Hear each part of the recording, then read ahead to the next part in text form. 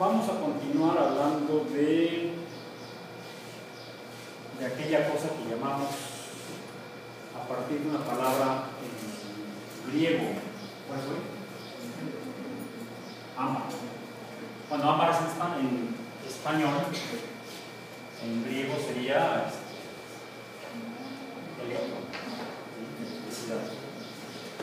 He colgado un globo inflé, lo colgué de este tripié para fotografía, que es de aluminio y metal. Ya probamos la, una las sesiones pasadas lo que sería cuando frotábamos una regla de plástico, cuando lo acercábamos a papel, a pedazos de papel, pedazos de papel se le unían al, globo después de frotarlo. Probamos también con algunos eh, fragmentos de papel aluminio y vimos que también eh, eran atraídos los fragmentos de papel aluminio por el, por el globo después de frotarlo. Este globo lo inflé, pero no lo froté y sin embargo, ¿qué está sucediendo? Lo cuelgo del cordel, bien, y en lugar de que cuelgue de manera totalmente eh, perpendicular a la horizontal, atraído según la ley de gravitación de Newton hacia el centro gravitatorio de la Tierra, centro de masa de la, Tierra, está gravitando hacia dónde? a una distancia distinta. ¿no? Voy a tratar de cortar un cordel aproximadamente de la misma longitud. Por aquí.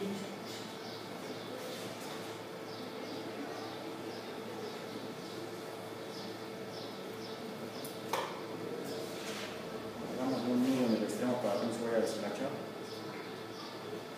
Este papel de nylon es fácilmente se deshilacha. Vamos a tomar otro globo y vamos a ver si es cierto que está haciendo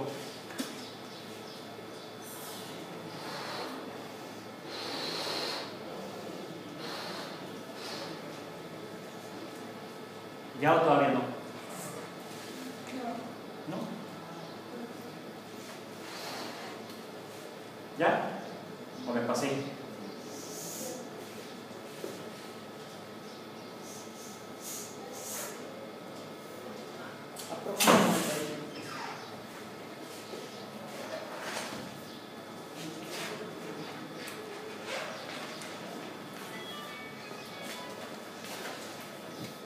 ¿Por qué si no lo he frotado? ¿Por qué se pegó al aluminio?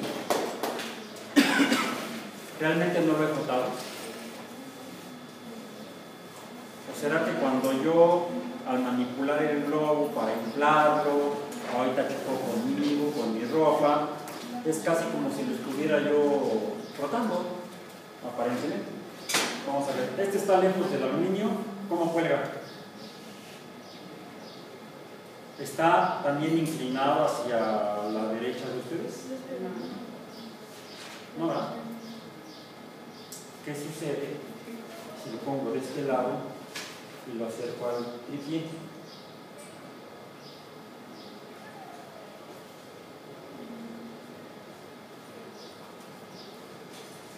Parece que con el simple hecho de que lo haya yo movido, de alguna manera se comporta como si lo hubiera rotado.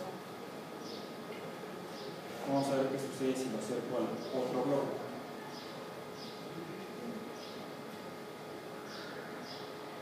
Los puedo juntar sin ningún problema.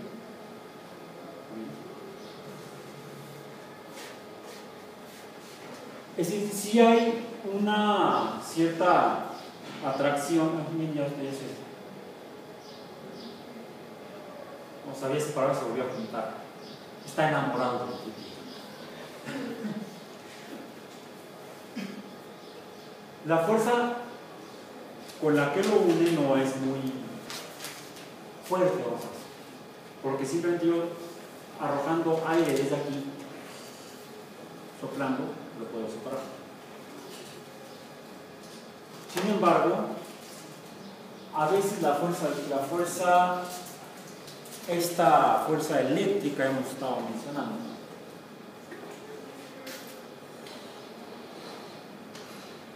Mencionamos que es más fuerte que la fuerza gravitatoria porque pudimos levantar los pedazos de papel. Lo ya más, los pedazos de papel eran pequeñitos y el globo era grandote. La masa del papel sería menor que la masa del globo.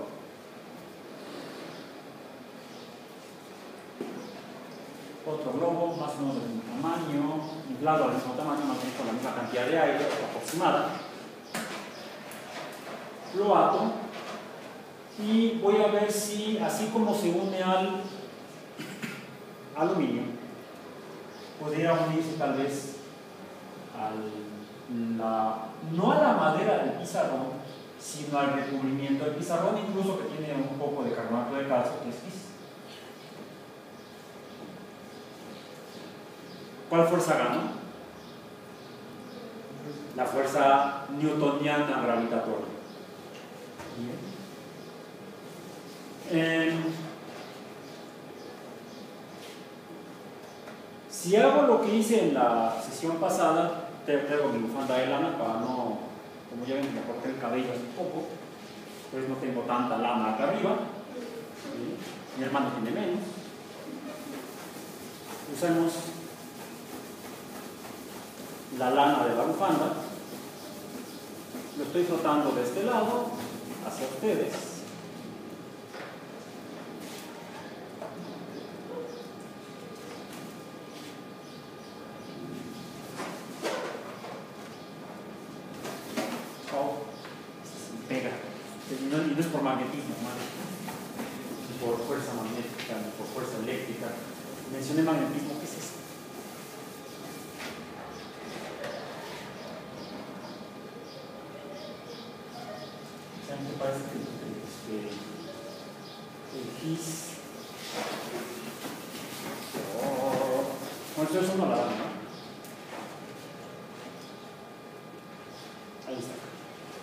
Parece que el carbonato de calcio del pizarrón pudiera estar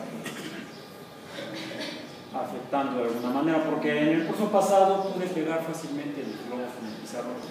Hace rato que llegué al salón, el pizarrón estaba lleno de ecuaciones, lo borré, borré las ecuaciones, pero se quedó mucho carbonato de calcio pegado en el pizarrón y no puedo observar si hay atracción eléctrica, fuerza de atracción eléctrica entre el globo y el recubrimiento del pizarrón. Sin embargo, sin embargo, si lo estoy, después de frotar el globo y acercarlo a la pared, veo que se queda unido a la pared. Hay una fuerza atractiva entre el globo y la pared. Por cierto, la pared de qué está hecha? De ladrillos, de bloques. Pero estos bloques de ladrillo, ¿de qué están hechos? ¿Saben de qué están hechos? Se hacen con arcillas, pero más interesante que ello es el, recubrimiento que tienen. Si estén cerca de las paredes, toquenlas, cómo se sienten al tacto. Se sienten muy lisas, se ven como si fuera vidrio. De hecho, son ladrillos que se dicen vitrificados. Tienen como vidrio, efectivamente ya ahí se cayó el globo. Si se cayó, gravitó, ¿qué significa? Que la fuerza gravitatoria ahora ya es mayor que la fuerza de atracción eléctrica.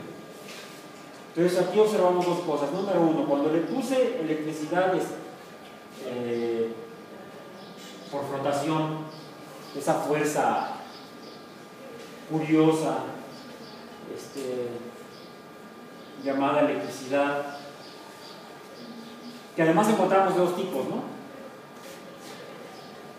Déjenme tomar este otro globo, lo voy a cortar con la lana.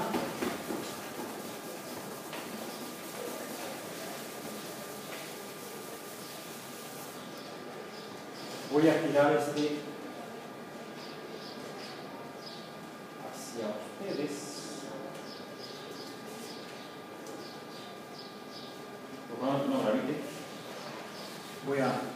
otra portada más a los globos. Y voy a tratar de acercarlo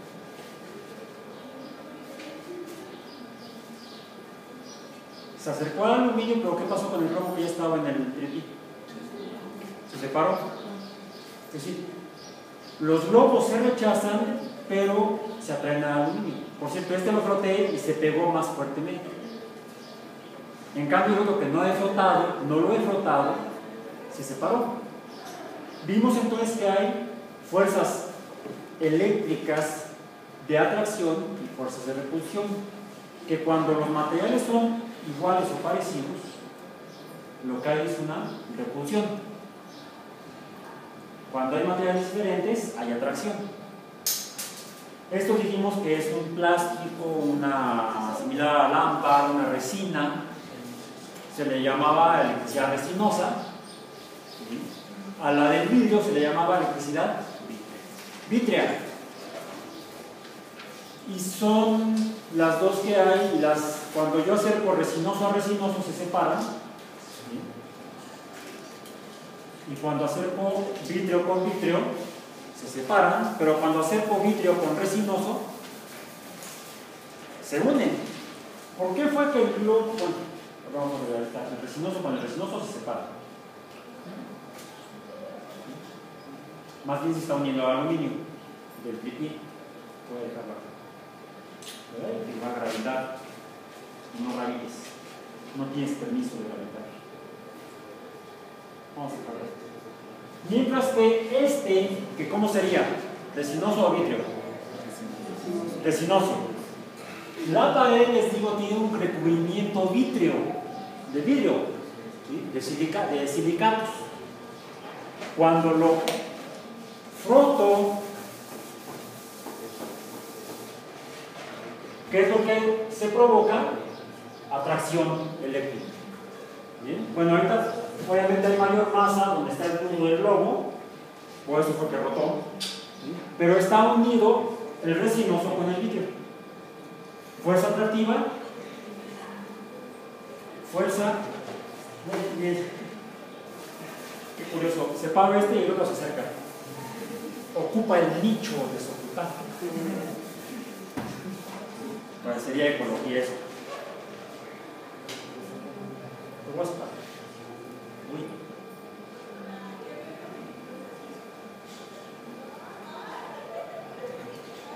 Se separan. Se está viendo abajo, vamos a quitarlo. No tiene mucho caso. Además me está poniendo un poco de complicación en el sistema.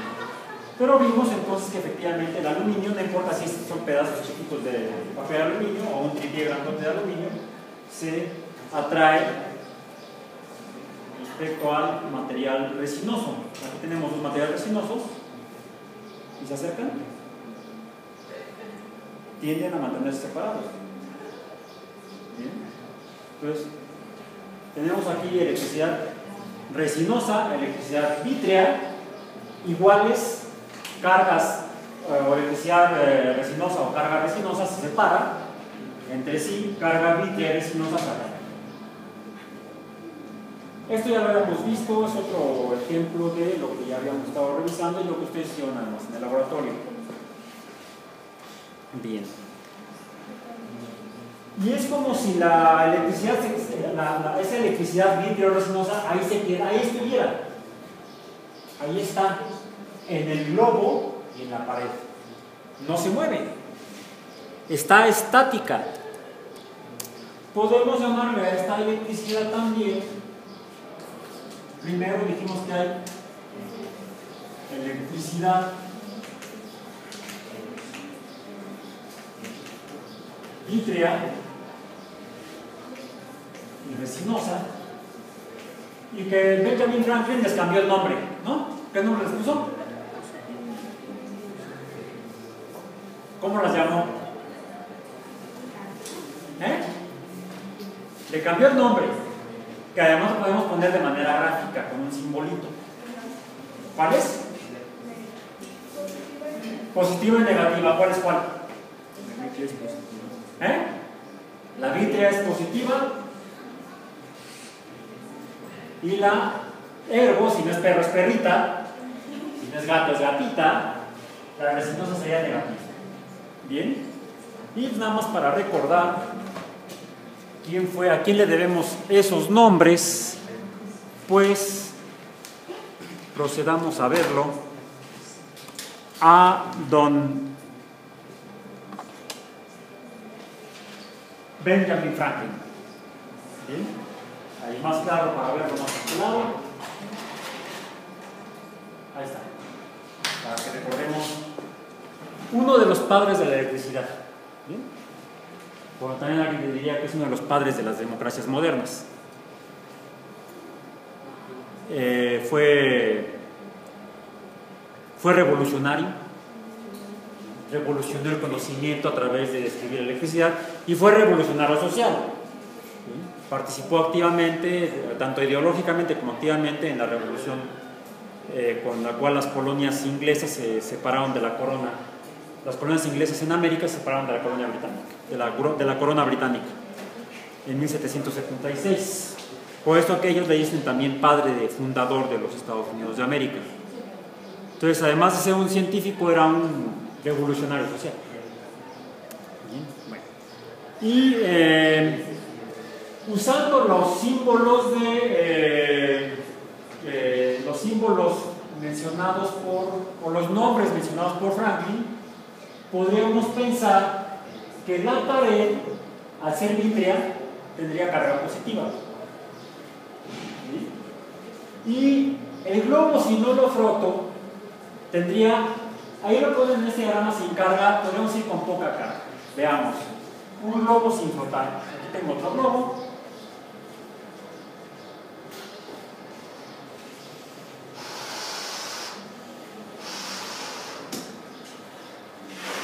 Tamaño aproximado. No lo froto, me quedo un poco más grande, no importa. ¿Qué pasó? Gravitó. Quiere decir que la carga negativa que tiene aquel no la tiene este. O la tiene muy poca, ya vimos que aunque no el otro globo que estaba colgado, se pegó al aluminio, el cual sería vítreo, ¿no? Sería positivo. Fíjense, es interesante. El aluminio, el aluminio que es como material, químicamente ¿qué es? Es un metal. Y eléctricamente muestra propiedades de este tipo, eléctricas positivas. O vamos a decir, en el lenguaje antiguo, positivas en el lenguaje moderno. Entonces, vimos que aunque no fue el primer globo, se unió al aluminio. El globo, aunque no formalmente no lo froté, tendría el globo es de látex. El látex es un compuesto fundamentalmente formado por carbono. Y sin embargo se unió a el aluminio. Ergo, ¿cómo sería el látex que tiene carbono o el carbono en el látex es el elemento más abundante? ¿Cómo sería? Eléctricamente negativo al menos un poco. Entonces, podemos empezar a suponer, que la materia en el universo puede interactuar, puede unirse diferentes materiales entre sí debido a las fuerzas eléctricas. Bueno, fuerzas porque son capaces de hacer trabajo. ¿Cuál trabajo? Si, si yo sé que existe una fuerza de, de gravedad, una fuerza gravitatoria, que es la que hace que los globos graviten, y veo que hay un globo que no gravita, ahí está el globo que no gravita, quiere decir que hay una fuerza que en este, en este caso tiene la misma dirección y sentido que la fuerza eléctrica. Y por lo tanto, la sumatoria de esas dos fuerzas, ¿cuál es? Cero. Por eso está estático, no se mueve. Está en equilibrio. Está en estado de reposo.